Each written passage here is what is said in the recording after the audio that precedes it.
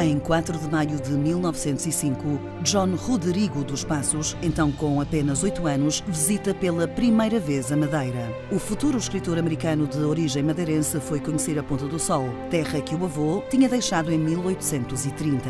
Habituado a viajar pela Europa desde muito novo, tendo estudado em Inglaterra e Espanha, viria a tornar-se condutor de ambulâncias durante a Primeira Guerra Mundial. Volta a passar pelo Funchal em 1921, numa escala de navio e regressa para para uma estadia mais prolongada no verão de 1960.